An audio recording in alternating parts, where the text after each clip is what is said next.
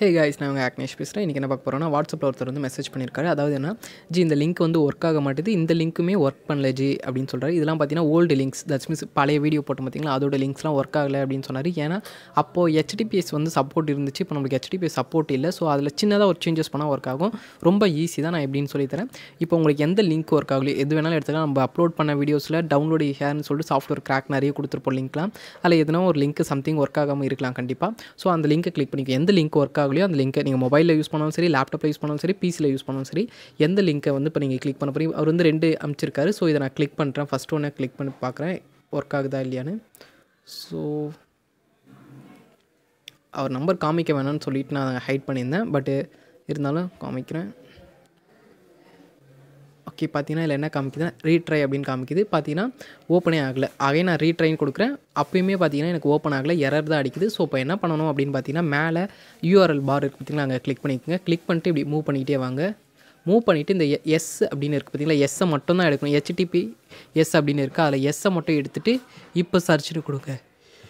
ஆயிடுச்சு so miracle ஜோமி tool வந்து இப்போ வந்து அவைலபிளாக இருக்குது ஸோ இப்போ நீங்கள் டவுன்லோட் பண்ணுறதா இருந்தால் தாராளமாக இங்கே பாருங்கள் ஃபைல் அப்படின்னு இருக்கா? ஸோ அதை கிளிக் பண்ணி நீங்கள் ஈஸியாக வந்து டவுன்லோட் பண்ணிக்கலாம். இப்போ நாங்கள் கிளிக் பண்ணோடனே பார்த்தீங்கன்னா எனக்கு வந்து வந்துடுச்சு மிராக்கல் டூல் ஜோமி டூல் அப்படின்னு.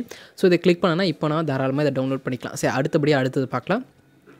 செகண்ட் லிங்க் ஒன்று கொடுத்துருக்காரு. இதுவுமே பார்த்தீங்கன்னா ஒர்க் ஆகலஜி அப்படின்னு. ஸோ அதையும் நம்ம கிளிக் பண்ணலாம்.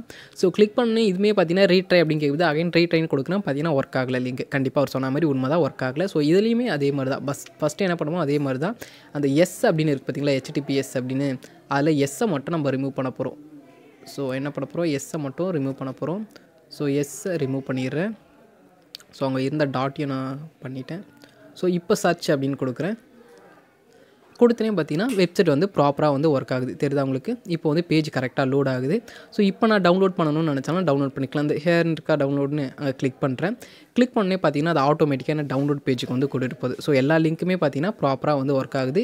கிளிக் பண்ணி ஓப்பன் பண்ணிக்கலாம். இது எப்படி டவுன்லோட் பண்ணுறதுனா மேலே டவுன்லோட் அப்படின்னு இருக்குது பார்த்தீங்களா? அதை கொடுத்து டவுன்லோட் பண்ணலாம். இல்லை இந்த ஏரோ மார்க் இருக்குல்ல அதை கிளிக் பண்ணி டவுன்லோடு இருக்குது பார்த்தீங்களா? அதை கிளிக் பண்ணி டவுன்லோட் பண்ணிக்கலாம். ரொம்ப ஈஸி தான்.